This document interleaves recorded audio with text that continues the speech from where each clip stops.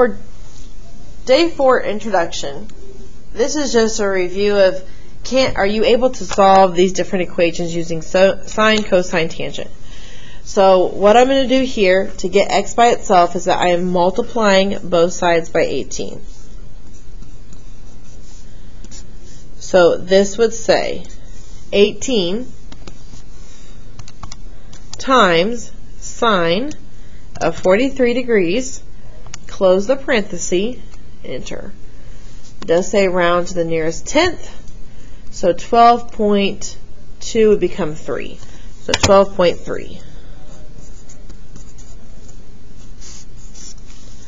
Okay, in part B, I would multiply both sides by 64 since that's my denominator.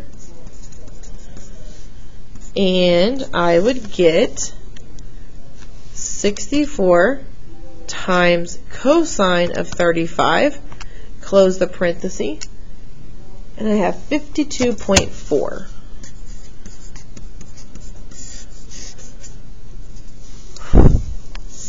Okay, for letter D, to get rid of my denominator, I multiply both sides by x,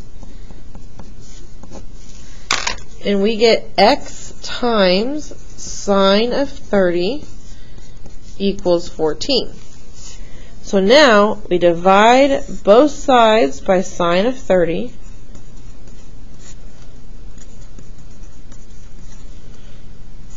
And x would be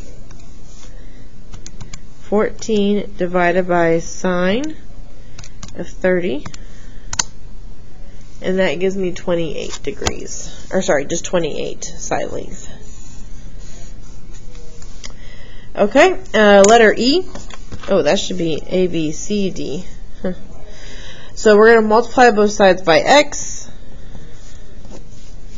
And we get x times tan of 16 equals 28. Now, we need to divide by tan of 16 and get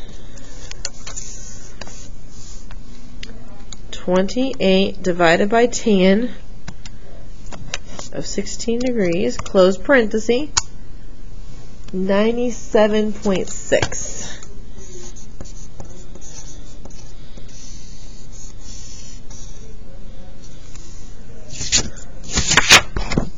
Okay. For these, because x is the degree, the angle measurement, you're doing the inverse. There's that word that's important. So it's saying x is going to equal the inverse, so sine inverse, and then our fraction 8 twelfths.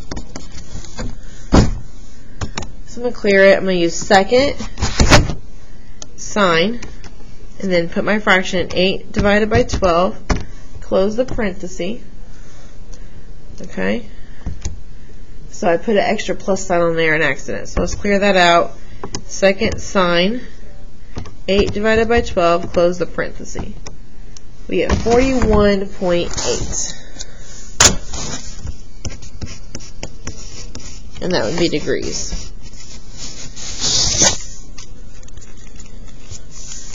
Okay, so part B,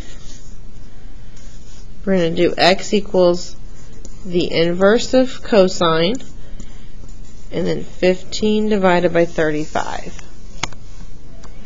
So second cosine of 15 divided by 35, close the parenthesis, and it's 64.6 degrees.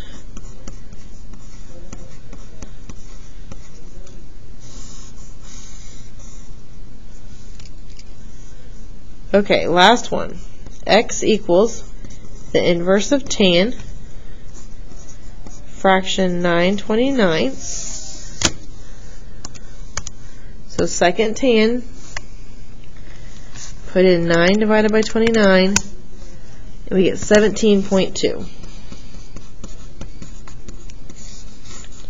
So that was just practicing, can you solve for x when the equation, when you have the equation? set up correctly.